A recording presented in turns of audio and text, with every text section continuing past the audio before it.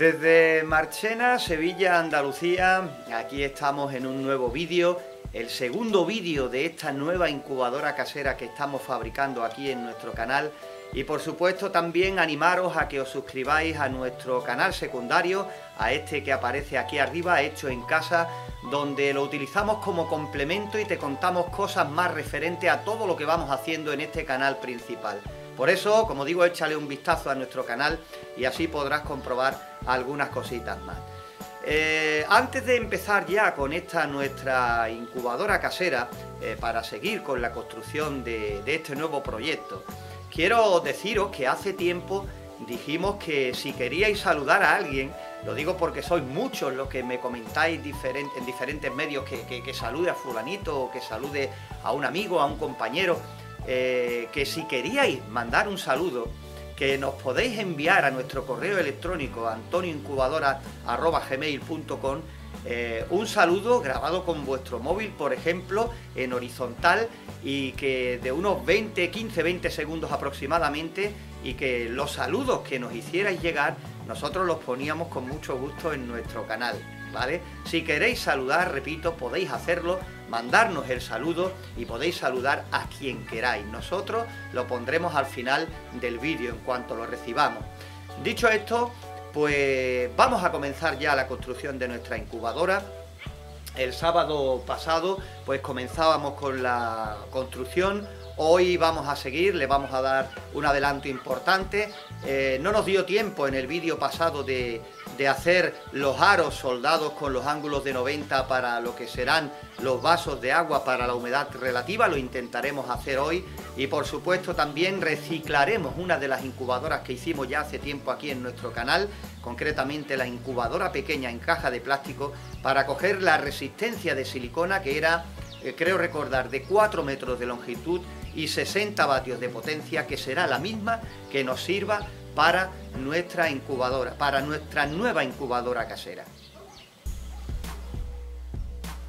Aquí está nuestra incubadora casera, es esta incubadora pequeña, aquí la tenéis, seguro que la recordáis, eh, la probamos, nos dio muy buenos resultados, pero ahora vamos a coger, como digo, la resistencia de silicona, eh, esta que veis aquí, que como digo es de 60 vatios de potencia y 4 metros de longitud.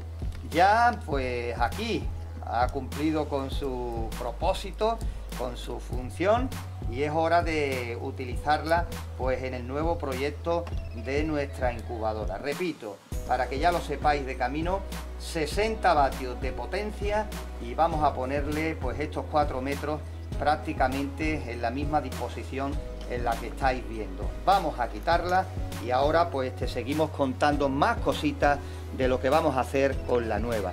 También quiero recordarte que en nuestro canal secundario pues estamos haciendo cosas paralelamente de esta incubadora y explicando también otras cositas a medida que vamos haciéndolas para que no ocupen mucho los vídeos aquí en este nuestro canal principal. Como complemento, como blog, ya te digo, te recomiendo que le eches un vistazo. Como veis, la incubadora funcionó bastantes veces y mirad la resistencia de silicona. Está completamente nueva. Ni está agrietada, no hay grietas, no hay fisuras, nada de nada. Ya digo que si la resistencia es medianamente buena y tiene un poquito de calidad, pues que no va a sufrir daños porque la enrollemos de esta manera o porque la tensemos un poquito, pero como veis solo un poquito, no podemos coger una resistencia de silicona y ponerla tensa, tensa, porque evidentemente así estaríamos perjudicándola a largo plazo y evidentemente también en su funcionamiento. Veis como digo, aquí tenemos la resistencia ya totalmente desmontada y está prácticamente nueva. Ya podéis comprobar, esta incubadora creo que hicimos un par de incubaciones que subimos al canal. Una creo que recordar que fue seguro, pero aparte de eso hemos hecho más incubaciones.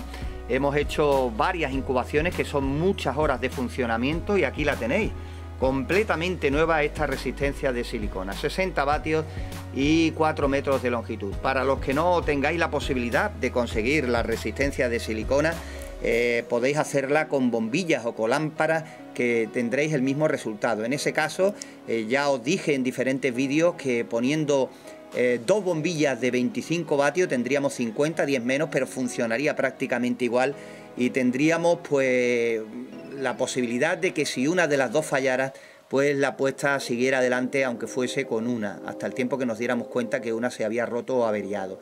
En cambio, si ponemos una sola bombilla, una sola lámpara, pues si se rompe, si se funde y no nos damos cuenta, pues imagínate eh, el desenlace, ¿no? O las posibilidades del desenlace. Pues nada, ya tenemos la resistencia, ahora sí vamos a mirar de lleno nuestra incubadora casera que estamos haciendo. Aquí tenéis ya la incubadora pequeña sin la resistencia de silicona y bueno, que si nos hace falta material pues tendremos que ir reciclando poco a poco. Aquí tenéis la antigua, que tampoco es muy vieja, incubadora casera y la nueva, ¿eh? el proyecto que nos está ocupando de momento. Y mirad, mientras que he estado por aquí, pues resulta que de otro proyecto, creo que fue de la incubadora con doble bandeja de volteo automática que hicimos en, un congelador pequeño con puerta de cristal, eh, compramos este, esta tira de luz, de luz con diodos LED, para dar luz al interior y al final no la usamos. La tenía por ahí y digo, pues, ¿por qué no? La vamos a usar en esta incubadora así lo tendremos más fácil de grabar dando la oportunidad de tener iluminación en el interior. Estas tiras dan mucha luz, eh, son muy bonitas, las hay con juegos de luces de colores que hacen eh, figuras, que hacen 40.000 cosas, pero esta ya digo, luz clara, blanca, de LED y he decidido utilizarla entre otras cosas porque una de dos, o se pierde y ya no la encuentro o la cogen los niños eh, para otra cosa y se acabó. Por eso hemos decidido eh, usarla para este proyecto, para nuestra incubadora casera. La he fijado aquí a la tapa eh, en la parte de abajo para que no estorbe cuando pongamos la tapadera sobre el cubo y la podamos sellar y ahora le pondré pues silicona para que se quede ya fija del todo. Le he puesto como veis una tira de, cinta americana para que se quede sujeta. Era bastante larga, creo que medía un metro y evidentemente la he tenido que poner doble para que, para que quede bien. Ya después pues cortaremos el enchufe, le daremos un corte aquí, lo conectaremos al panel que pongamos con el ventilador. Eh, de este modo prácticamente parecido, cortaremos la tabla a medida para encajarla aquí y la pondremos junto con un interruptor al exterior para poder apagar y encender la luz según nos convenga. Mirad lo que estamos haciendo por aquí, estamos sellando por aquí con silicona como veis para que se quede la cinta luminosa esta aquí pegada.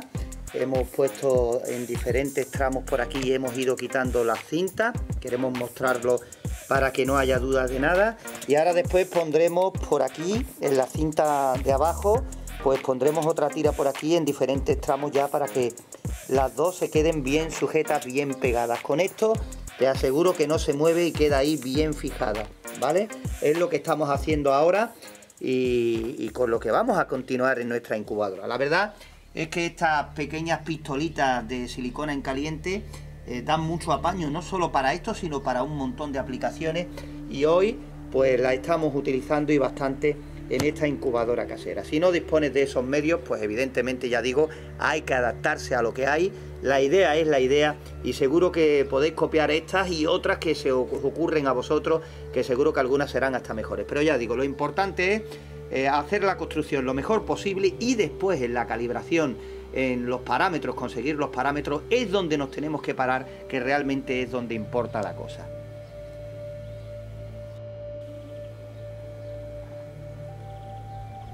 Continuamos pegando tramo tras tramo y ahora ya nos meteremos manos a la obra poquito a poco en nuestra incubadora casera.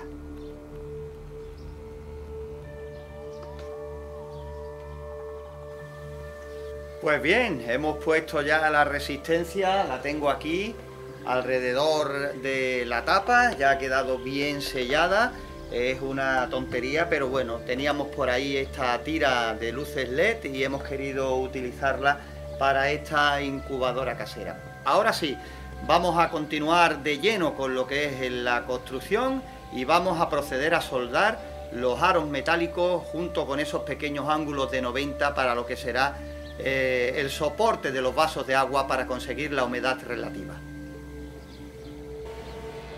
Pues bueno, fijaros, esta es una máquina de soldar, una soldadora o eléctrica, como le decimos por aquí, que tengo ya con un montón de años. Para que os hagáis una idea, os voy a dar información completa. Me costó alrededor de 50 euros, ya hace mucho tiempo, y me saca de muchos apuros. No es buena, eh, como máximo eh, suelda electrodos del 2, ya con electrodos eh, mayores no puede, pero como digo me saca de muchos apuros. Ahí tenemos ya sujeta la anilla al ángulo de 90, le daremos una puntadita aquí pequeña, lo justo para que agarre y ya quitaremos esa pinza que es de plástico para que no se nos eche a perder, para que no se derrita con la temperatura. Pequeña puntadita y ya después tiramos un cordón para que medio vaya saliendo. Fijaros aquí la chapa que he puesto aquí para no hacer quemaduras en el suelo ni demás, totalmente mojada de, las heladas que, están cayendo aquí en nuestra localidad, en Marchena, y que hace que, que por la noche caiga una blandura y alcancemos cerca de los 0 grados. Hemos estado con temperaturas muy cercanas a los 0 grados en estos días atrás, sobre todo las noches han sido muy frías.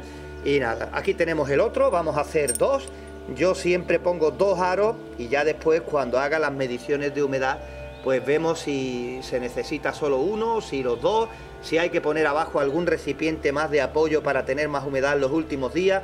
En fin, eso lo hará eh, las mediciones que hagamos cuando tengamos nuestra incubadora completamente terminada. Sueldo los aros y ahora volvemos nuevamente ya con los aros acabados. Ya hemos terminado de soldar y antes de enseñaros el resultado, pues por supuesto antes se me olvidó enseñaros la careta de protección siempre con este tipo de máquinas, si no los ojos lo van a notar. Y fijaros, quería comentaros que aquí esta máquina no traía ventilador, eh, se calentaba mucho y saltaba la protección y le puse pues un ventilador precisamente de los que utilizamos para nuestras incubadoras caseras. Se lo empotré aquí y así por lo menos aguanta un poquito más, ya que un servidor tampoco es muy bueno soldando y necesita más tiempo. Fijaros el resultado, aquí tenemos las anillas, eh, ha costado más trabajo de la cuenta porque estos ángulos son muy finos y al aplicarle los electrodos pues prácticamente se los comía, tal como suena, se comía el electrodo y se comía también la chapa que es muy fina de estas sujeciones para los aros. Con los aros no tenemos problemas porque son bastante gruesos, bastante gordos, pero en fin, creedme si os digo que he estado pues aproximadamente media hora mientras he intentado soldarlo de aquella manera. Hoy estoy solo grabando porque Raúl está de exámenes y no quiero que, no quiero que se me entretenga con, con otras cosas que no sean los estudios. Lo tendremos aquí ya para próximos vídeos, pero repito, estoy solo y hacer los aros pues me ha llevado aproximadamente media hora dando puntaditas para soldarlo lo mejor posible. Ya tenemos aquí el interior de nuestra incubadora casera, ya tenemos los aros y yo calculo que los pondremos aproximadamente a esta altura, teniendo en cuenta que hay que tener cuidado porque el vaso, el filo va a quedar justo en el aro y, y lo demás va a caer hacia abajo que no nos estorbe a la hora del tema de los huevos, de volteo, de que estén bien y demás. Los pondremos a esta altura aproximadamente, fijaros a qué altura queda del filo, del borde superior. A esta altura ya digo que pondremos uno enfrente del otro y ya después cuando, repito, hagamos las mediciones, pues si hay que poner solo un vaso será uno y si son dos, pues pondremos los dos sin mayor problema. Alguno de vosotros seguro que puede estar pensando que si esto va a dificultar lo que es la, el aire, ¿no? El movimiento de aire caliente por el interior de la incubadora. No creo, porque fijaros, es una incubadora circular y aquí el reparto de aire, el ventilador lo va a tener mucho más fácil todavía si cabe. De todas formas, repito, eso lo veremos cuando estemos metidos de lleno en las distintas comprobaciones y calibraciones una vez que esté terminado el montaje al completo. Voy a poner las dos anillas, los dos aros, vamos a ver cómo queda y ahora sigo contándote. Esta es la pinta que tiene, el interior de nuestra incubadora casera de momento. Lo hemos atornillado, como veis ahí, con esos tornillos, con esas dos arandelas para que tengan mayor sujeción y hayamos podido apretar un poquito más, ya que esto, hombre, es plástico, es duro, pero tampoco nos podemos pasar. Le he puesto estas arandelas, como digo, para que los tornillos no se claven y, pierdan sujeción. La intención es de que queden a una altura que no moleste la bandeja de huevos y sobre todo que en un futuro, el día de mañana, cuando queramos grabar, veis, pues no nos moleste eh, nada del interior para estar visionando eh, los huevos cuando estemos incubando y estemos haciendo seguimiento. Pongo la cámara aquí, como estáis viendo, fija con el trípode y puedo dejar la cámara ahí grabando para hacer el seguimiento completo cuando los pollitos estén eh, saliendo o a punto de salir. Claro está siempre que, el trabajo lo permita y pueda estar en casa. ¿no? En fin, otro paso más. Vamos ahora a centrarnos en la tapa y vamos a ver la disposición de ese trozo de madera que vamos a poner que nos sirva de sujeción para los componentes principales del tema de calor, la resistencia de silicona y también el ventilador. Y de nuevo vamos a volver a esta incubadora casera pequeña en caja de plástico a la cual le hemos quitado ya eh, lo que es la resistencia de silicona y lo que voy a hacer es a ver si esta tabla pues le pudiera venir bien. Le dejo estos dos cáncamos en esta esquina corto la tabla porque es rectangular demasiado larga. Ya ahora la mediré posiblemente que quede por aquí. Le cortaré este trozo y estos cáncamos los desplazaré aquí. Y ya el ventilador lo centraremos justo en el medio, pero no pondremos este, pondremos uno más grande que es el que solemos utilizar. Aquí está el que compramos para, para este proyecto y para que veáis la diferencia de tamaño, pues aquí lo tenéis.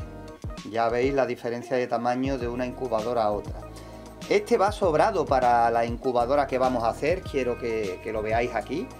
Quedaría colocado así en el centro y como veis quedaría a esta altura aproximadamente, por eso los vasos no van a estorbar para nada porque es un ventilador grande. Posiblemente, no lo sé, ya después lo veremos, no sé si poner que eche el aire hacia arriba eh, para que afloje un poco cuando llegue a los huevos o ponerlo directo. Ya cuando lo conectemos y vea la cantidad de aire que mueve, pues ya decidiremos sobre la marcha. Pero que, repito, al ser una incubadora circular y el ventilador ser de buen tamaño, no vamos a tener ningún problema en la temperatura porque está a la vista. ¿no?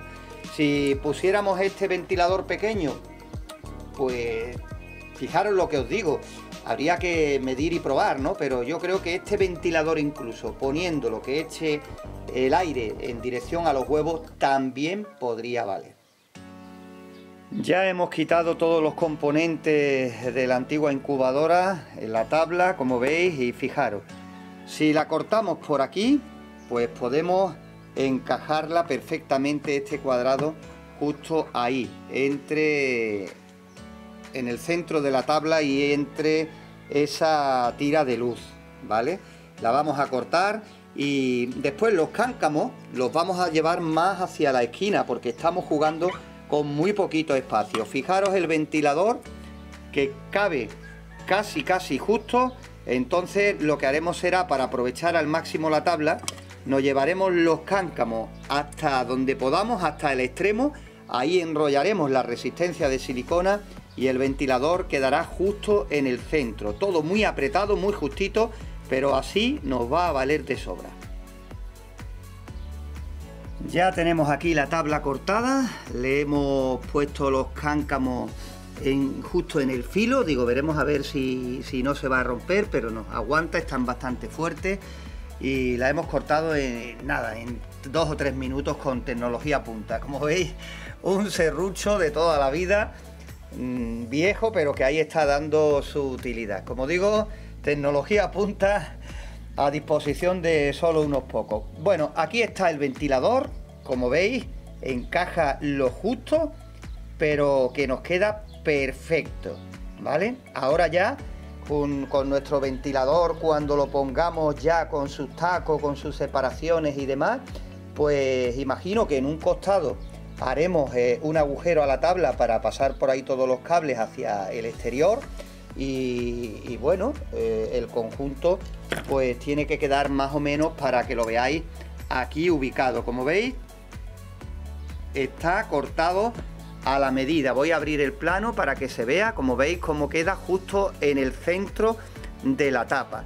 Ya también buscaremos, pues en uno de los extremos, pondremos un alambre, una barra, ya veremos cómo lo hacemos porque hay que colocar evidentemente la sonda.